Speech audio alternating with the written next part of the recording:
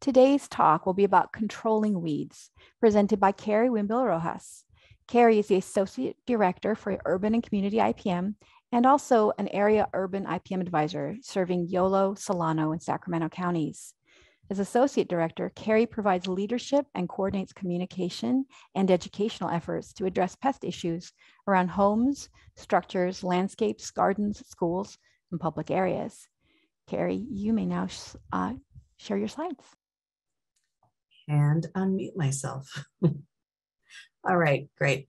Uh, good afternoon, everyone, and um, thank you for joining us today. Last I looked, we had about 190 people on um, as of right now. Um, so today we are going to be talking about um, controlling or managing weeds in the landscape, um, lawn and landscape around the home. And I have quite a bit to share with you, so I'm just going to get to it. First, we'd like to make sure that we are all understanding what a weed is.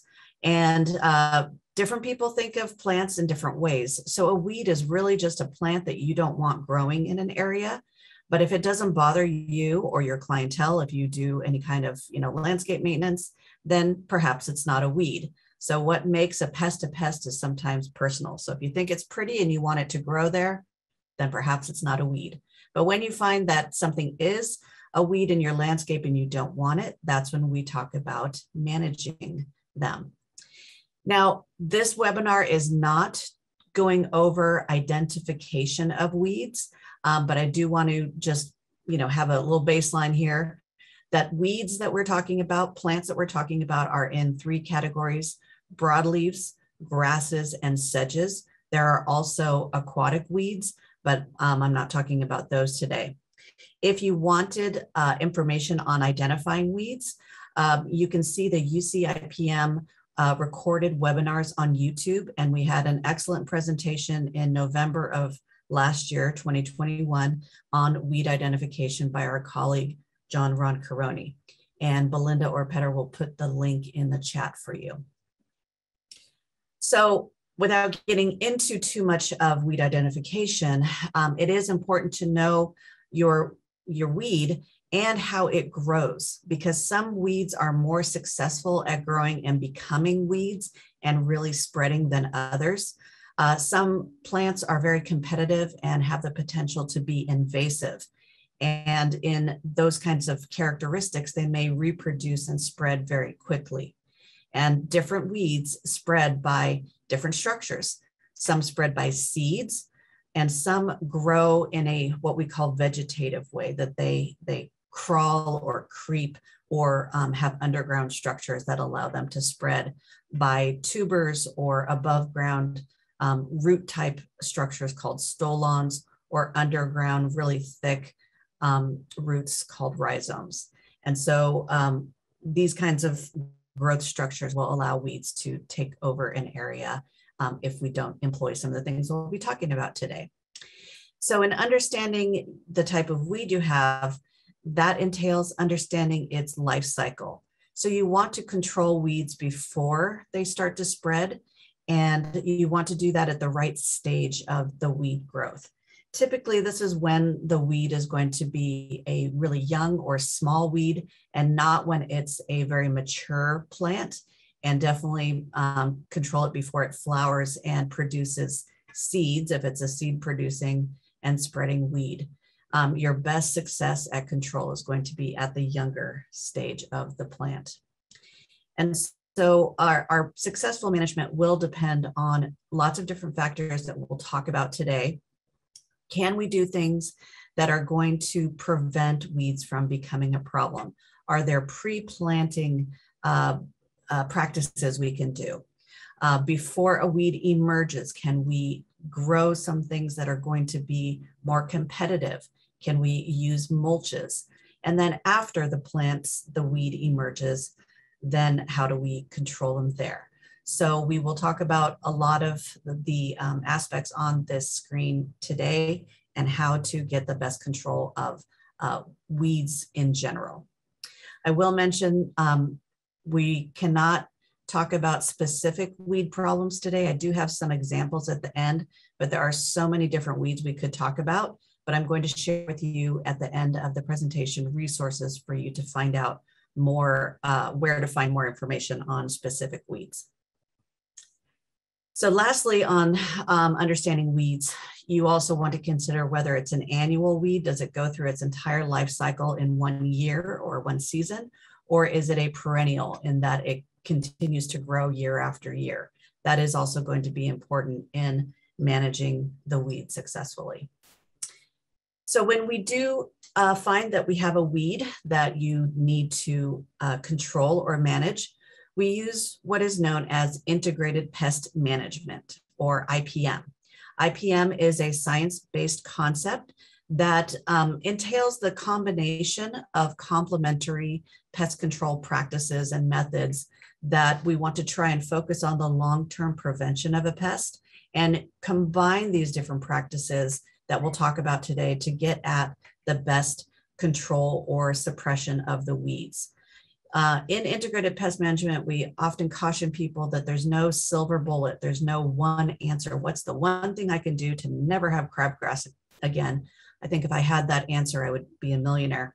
But we do have many different con control strategies that, um, when in used in combination, are going to get us the best kind of control. And those include cultural controls, which I'll um, explain momentarily, physical or mechanical controls, biological control, and chemical control or the use of pesticides.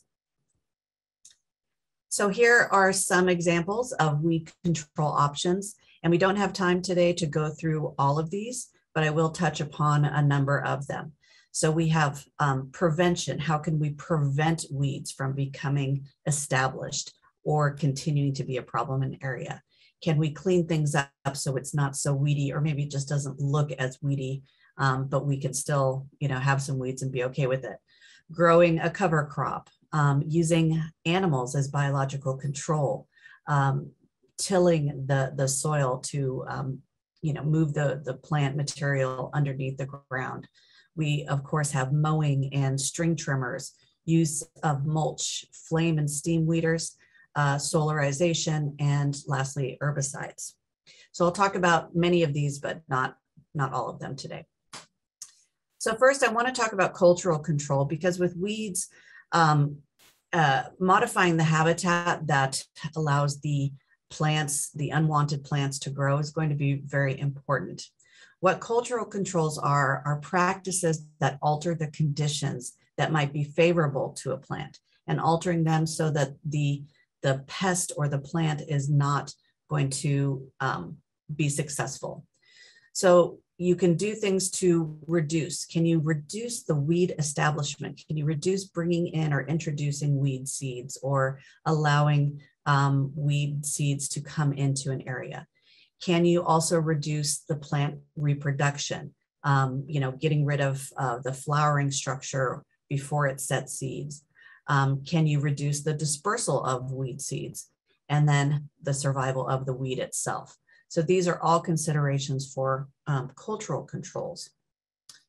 So in preventing the establishment or the introduction of weeds, if you're going to be planting a new area, uh, which is not always the case, but there are things that you can do in a landscape to give your desirable plants a head start over a weedy plant and um, encourage the establishment of the desirable plant. So first you can start with a, a really good soil that holds water and nutrients, has good drainage, and maybe is a, uh, a lighter soil that is amended before you plant your desirable plants. Then your plant choice is important, something that's going to establish quickly so that it is competitive with any weeds that might be there for the limited resources like light, space, and water.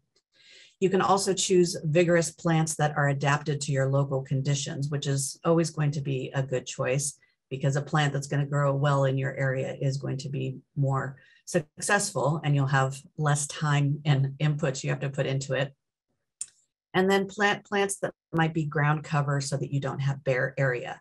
Bare areas of soil are just an invitation for weeds to establish in that area. And um, there's other considerations for, for planting plants in an area, how much water they consume, um, whether they're native, pollinators, many different considerations that we could probably have a whole um, webinar on itself. But the other cultural considerations to think about are why are the weeds invading or why are they spreading? There are many different conditions that we can modify depending on uh, what kind of weeds we have or what kind of soil we have. Often weeds will respond to certain conditions, and I'll give you some examples um, towards the end.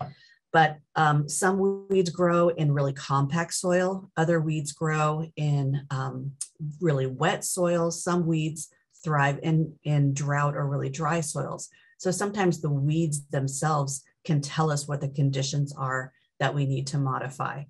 But in general, um, weeds will become established in areas that are poorly maintained, maybe not um, given much attention as far as the soil quality or mowing, or you know they might be ignored. But there may be some other underlying problems like overwatering, and certain weeds will grow in waterlogged or overwatered um, conditions. There's also drought and drought-like dry areas that will favor some weeds. Uh, compact soils, as I mentioned, fertility issues, and there's many other reasons why a weed would be establishing in an area.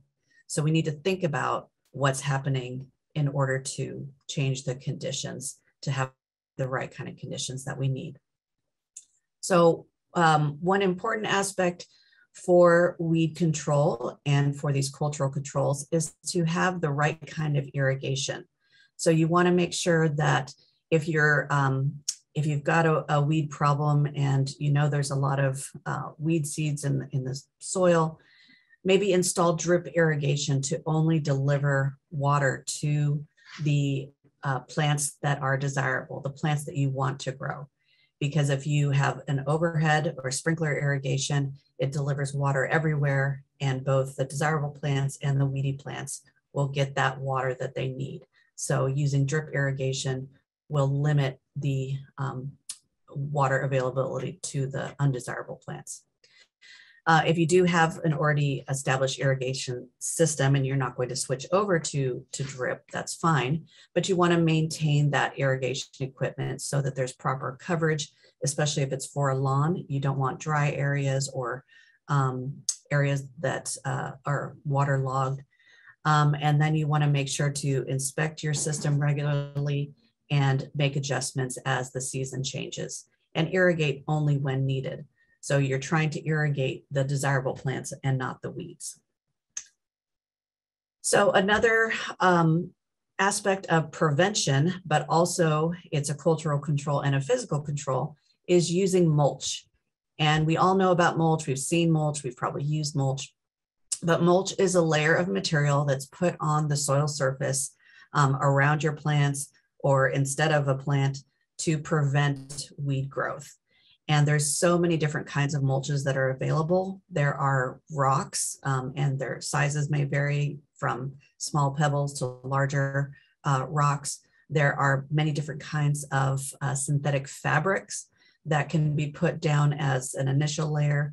Um, and there are, of course, the organic uh, mulches, such as bark and, and other uh, natural materials. So all of these mulches are going to block light and suppress weed growth. And many of them will also hold moisture in, which can reduce soil compaction and erosion. And for the organic mulches, as they break down, they can also improve the soil quality. So with the organic mulch, um, there's lots of things to consider, how you want your area to look. If you want it um, very uniform. You might use a certain kind of, of mulch type. Um, and there's various sizes of mulch and different kinds of bark and, you know, a mix of bark branches and the things that you can get at your probably local um, municipal district. Um, but there's, there's large shapes, there's fine mulches, but whatever kind you choose, you need to make sure that you have the proper um, height of that mulch. You might need to have three or four inches deep of mulch for certain ones, uh, fine mulches, maybe two inches deep. Um, and so do a little research on your mulch to find out if you're using this kind, how thick of a layer do you need?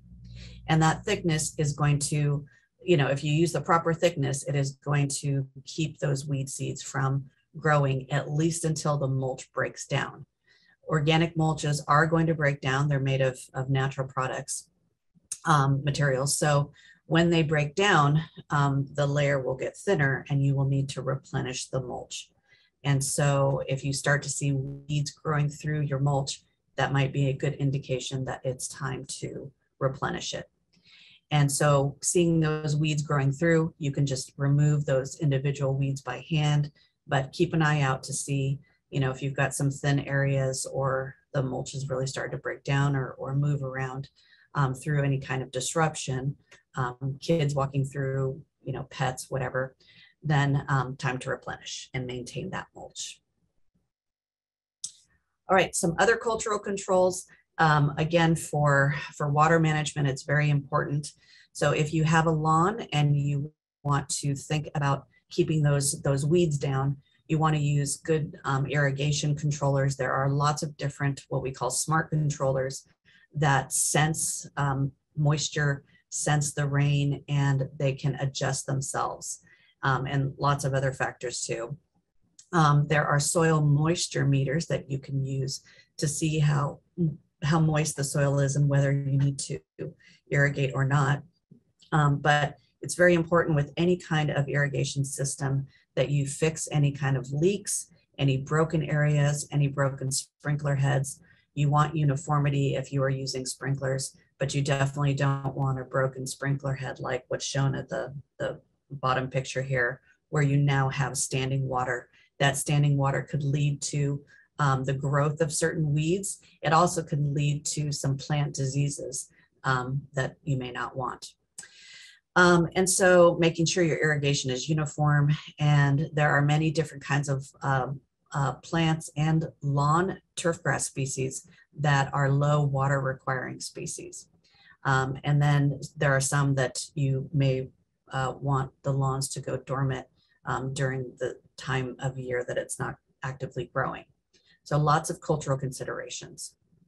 Another cultural and physical control for weeds and for having healthy um, turf grass is to use an aerator.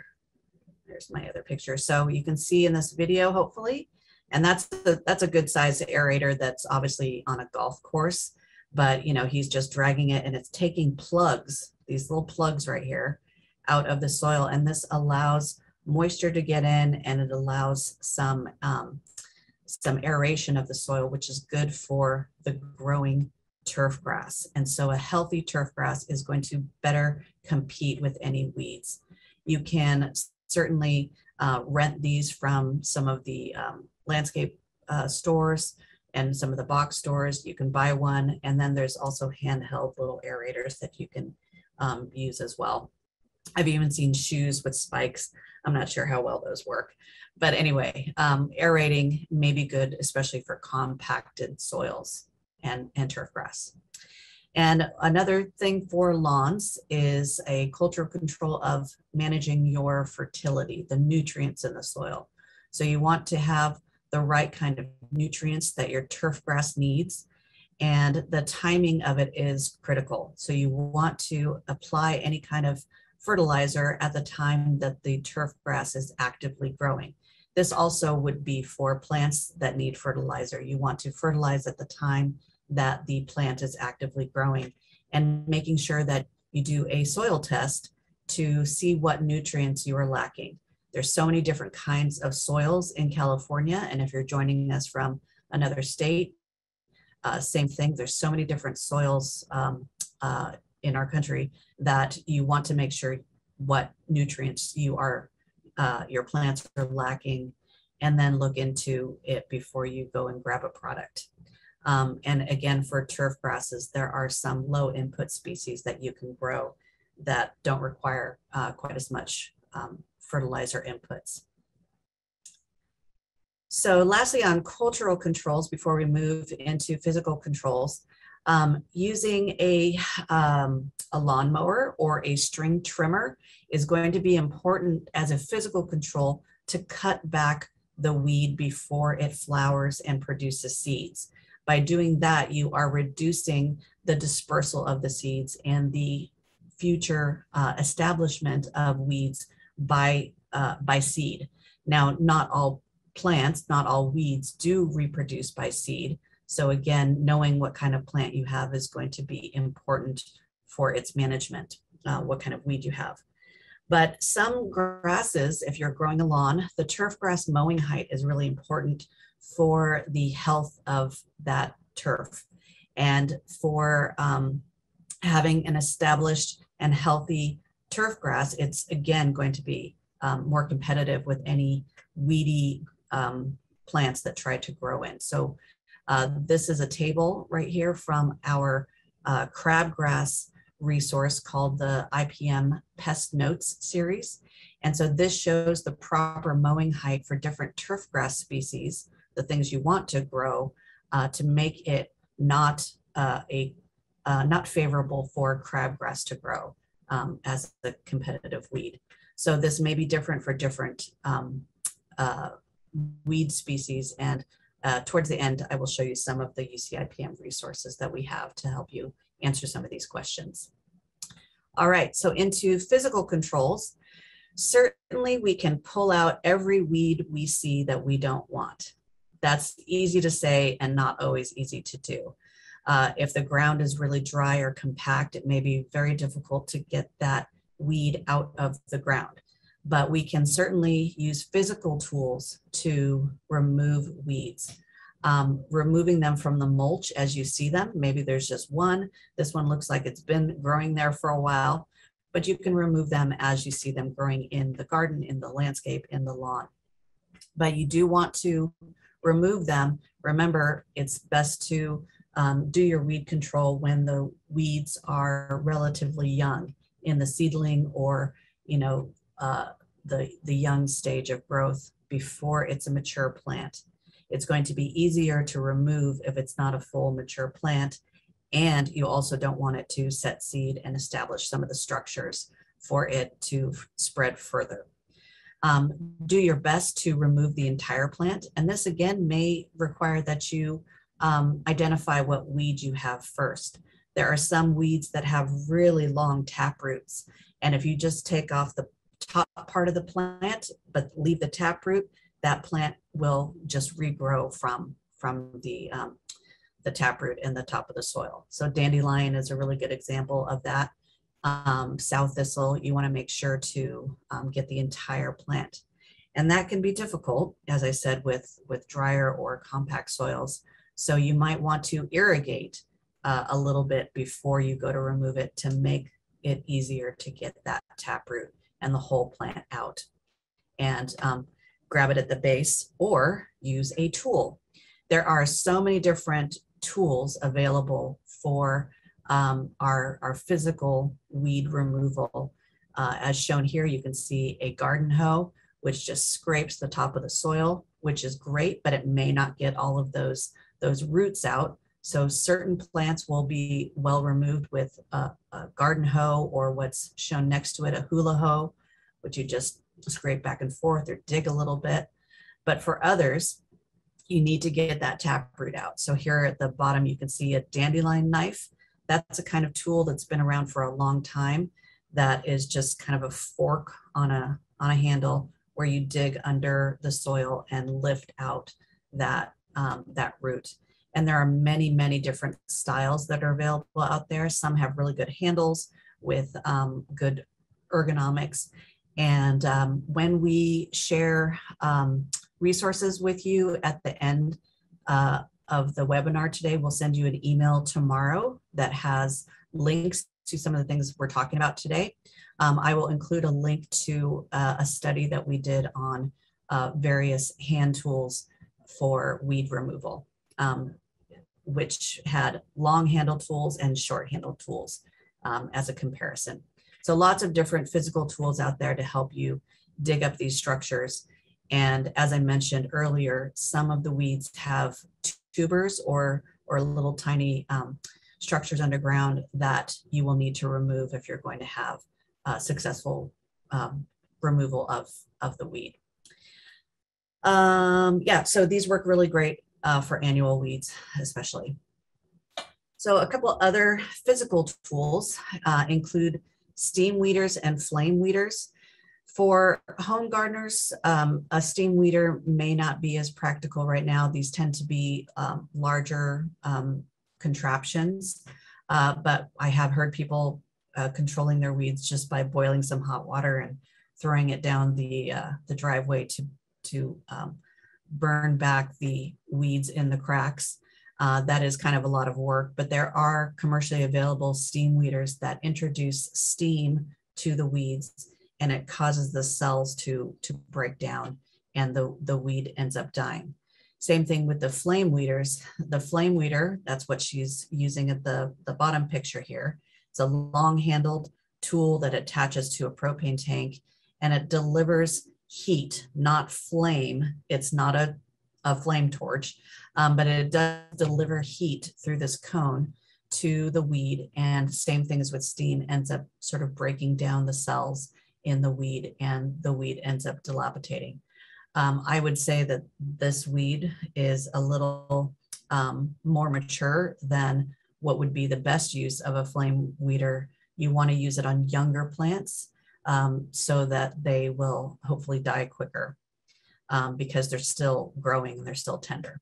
Um, and you can use it to treat uh, foliage and, and stems. You do with any kind of flame want to be careful around your desirable plants and also uh, around any kind of dry brush or mulch that it doesn't actually uh, start a fire. And it really just takes a, a couple of, um, you know, 20 to 30 seconds for, for less mature weeds um, to introduce that heat and then the plant breaks down. You don't have to stand there for a long time and definitely you don't want it to catch on fire. So this reminds me that not all of these tools that we talk about are going to be appropriate in all situations. You want to use a tool that's going to be appropriate in your situation where you are managing weeds. So if using a flame weeder around very flammable landscapes or potentially uh, fire hazard areas, then certainly that is not the tool that you want to use. And so we, we talk about flame weeders with precaution. I think the, the best uh, scenario to use them is in hardscapes where you've got weeds growing through cracks or on school sites where um, they don't want to necessarily apply herbicides around children. Um, and so using the, the flame weeders in the cracks is one of the uh, good non-chemical options available. All right, uh, biological control, while limited for weed control, there are animals, including insects, that are herbivores that eat weeds. Some do a really good job at clearing an area very quickly. Um, some of the uh, herbivore insects might take quite a while to um, control a, a, weedy area. But here you can see um, some, some goats, and I just learned this term goatscaping uh, the other day, where using uh, a flock of goats to uh, release them caged in an area, and they will eat the plant material in that area. Um, you don't want these kinds of general herbivores around your desirable plants because they may eat plants that you want to keep. So it really does depend on what kind of weed control you're after. This was on a hill in between some newly um, established housing uh, areas, and uh, it was quite weedy off to the left. And you can see that the goats on the hill had done a really good job in that area and um, you can see very faintly, but there's a fence in the foreground. And so there are uh, companies that will uh, bring the goats to you.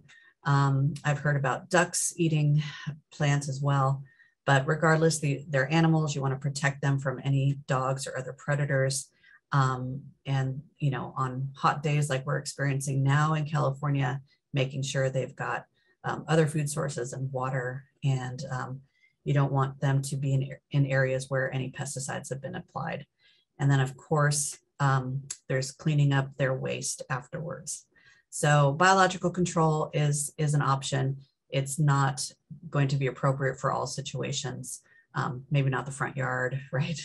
all depends, but it is one of the tools we have for, for weed management. Um, so I do want to talk about chemical control because in integrated pest management, we talk about cultural control, physical controls, biological control, and chemical control. And so there are herbicides available, which are pesticides that control weeds. And we find that with um, using herbicides, perhaps in combination with some of the non-chemical tools I've talked about up until now, will get us the best control. But if you hand weed and mulch, usually that is adequate control for what most of us need around our, our gardens and landscapes. So you want to reserve the herbicides for the special needs, for the difficult to remove weeds, for the large areas of weeds that you're trying to manage, whatever your situation may be. But you still should figure out the underlying cause. Why is this such a weedy area? Why am I continuing to have this weed or these weeds in this area? Is it something to do with the soil? Is it something to do with irrigation? Right? There's there's for those weeds to be there and see what you can do to use preventive methods, perhaps instead of uh, herbicides or after an herbicide have, has been applied and moving forward. But what if you decide to use an herbicide, you want to use one that is labeled for the weed species you are trying to control and is safe around your desirable plants. And this information will be on labels. I'm going to talk about labels in a second. So there are different kinds of herbicides. There are contact herbicides and systemic herbicides. The majority of the herbicides that we have in the, the home market, the consumer market are going to be contact herbicides in that they will injure the plant material that the herbicide comes in contact with. And because of that, you need to have good spray coverage and, um, and uh, that is best done with, again, younger plants. If you have a really mature mallow, you're going to have to use a lot of the herbicide to um, control that. And frankly, there's not a lot of good herbicides for mallow anyway, so that's a bad example. But you need good spray coverage. And again, it's only going to work on the um, plant material, the plant parts that it touches. So if you've got one of those weeds with a good tap uh, taproot system, that plant may regrow if the taproot taproot isn't uh, removed. Systemic herbicides work as they sound systemically. They, they travel through the system of the plant to deliver the material to all parts of the plant. So an example might be glyphosate or 2,4-D or fluazifop. Those are systemic herbicides. There are others, but not, not quite as many as the contact herbicides and they are taken up by the green parts of the plant and then um, distributed to the other parts. So they would end up killing that, the, the root portion as well. Um, and it may take just you know a couple of hours for a contact herbicide to show some of the plant damage, whereas a systemic herbicide might take a bit longer. Also in considering herbicides, there's pre-emergence and post-emergence. You apply a pre-emergence herbicide before the weeds have emerged from the soil. And a post-emergence, like a contact herbicide, you apply after the weeds have emerged from the soil. So that's going to be important um, when you consider when you might be using these and, and for what weeds. More and more on the market, there are organic or herbicides, and there are many different kinds of active ingredients, the material in the pesticide that, that kills or repels or controls the plant. Um, some of these are based on plant-based oils like clove oil, cinnamon oil, rosemary, etc. There's some um, pelargonic acid that's also plant-derived, and some have fatty acid chains that are referred to as herbicidal soaps. And then many people, I'm sure, have heard of using vinegar, but not just your household vinegar, 20% acetic acid, which is the active ingredient um, that makes up these, these vinegar products. But you have to be careful because Uh, some of these products actually um, uh, may burn your skin or your eyes. So you need to really read the label carefully and understand the product that you're going to use. Just because something is organically acceptable does not mean it's completely safe for us as humans because these are acids and some acids are, are stronger than others. And so precaution is always needed. Um, but these are uh, mostly contact herbicides, so they're going to be effective on young plants only post emergence, right? After the plant has emerged. Um, they may not be uh, useful on plants with substantial roots or those perennial plants that grow year after year. And you may need to reapply them uh, frequently. But because they are contact sort of burn down um, materials, they may also uh, damage your desirable plants. So you have to be careful there. And some, as you can see from these plant-based oils, um, they're very fragrant. And there's a product I've used in some of my trials that is very, very strong, uh, clove and cinnamon, and it, it, um, it bothers some people. So that's just a consideration. Um, but they do have their uses for sure. And um, there's also corn gluten meal as a pre-emergent but um, research from colleagues at UC does not back up their efficacy, that product's efficacy as a, um, an herbicide. So these organic herbicides, as I mentioned, they are contact. Um, they work on any kind of plant material that they touch, um, sort of burning down that plant material, but again, only on contact. So they're not going to be effective on the roots. Um, and good spray coverage is essential, as I mentioned in that earlier slide.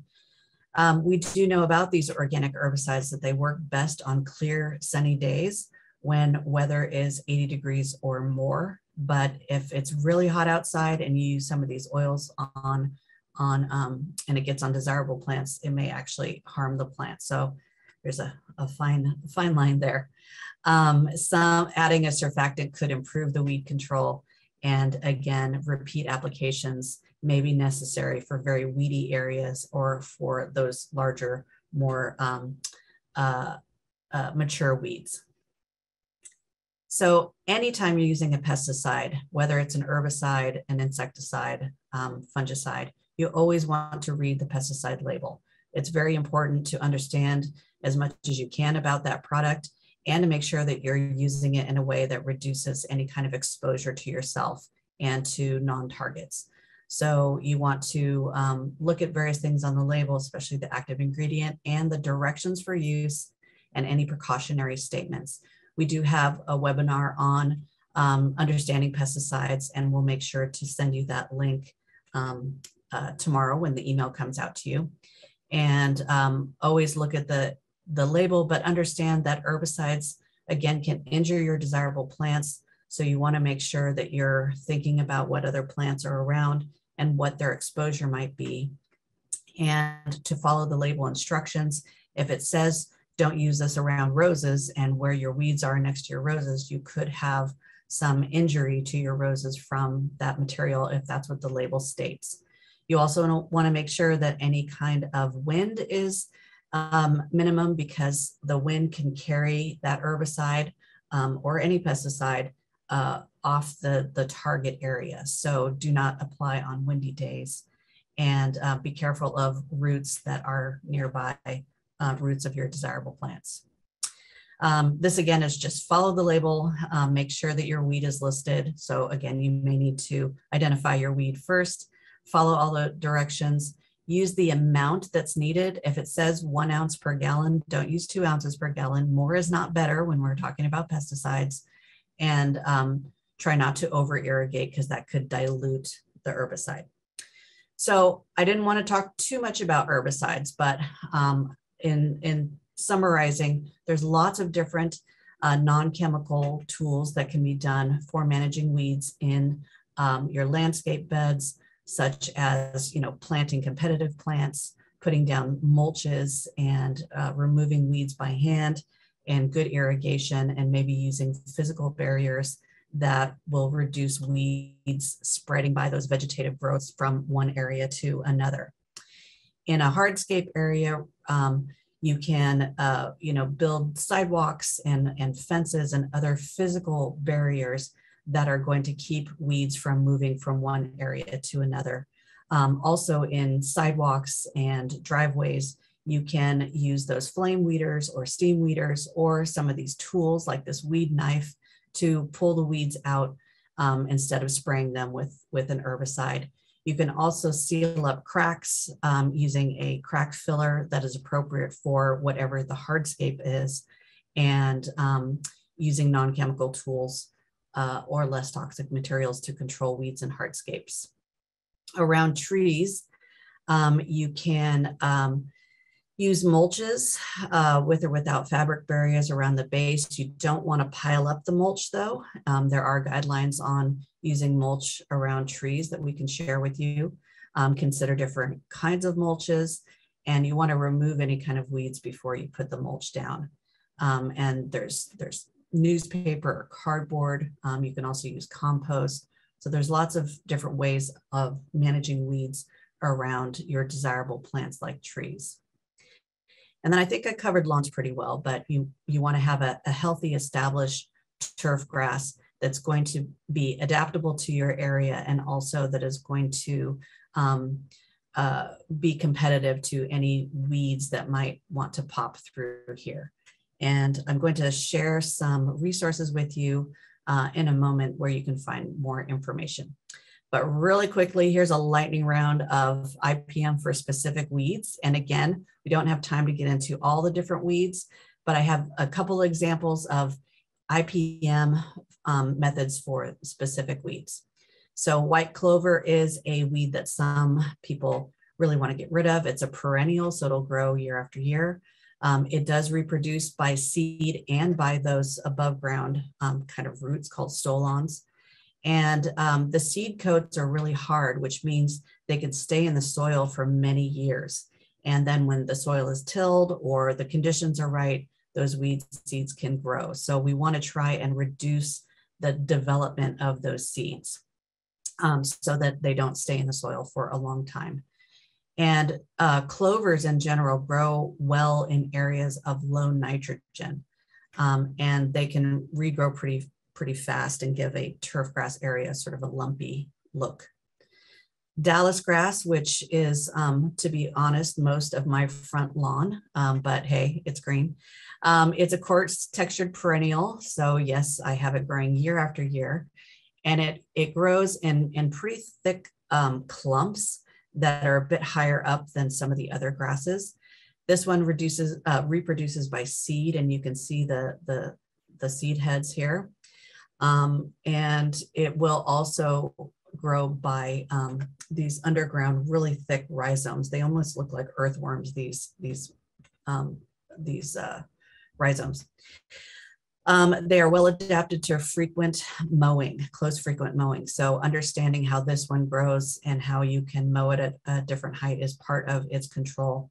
Um, digging or chemical controls is one of the best ways to get rid of it once it's established and you can get the shovel and lift the whole thing here, those rhizomes, they do kind of look like worms, but you can lift, this is one whole clump of Dallas grass.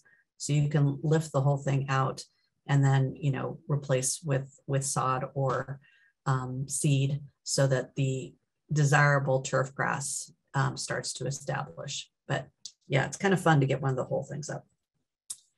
Uh, Bermuda grass, which uh, is, is a beast, it is a perennial. It reproduces by stolon or rhizome, less by seed, but it spreads really well under close mowing. And when the um, plant parts are kind of chopped up, it can reproduce by any of the plant parts. So it's it's really something that's hard to control. Um, it's drought drought tolerant and it grow, goes dormant when temperatures drop in the fall. Um, but what's really important is a cultural kind of control is that you clean the mower um, after mowing an area with Bermuda grass so you don't move it to other areas of your landscape.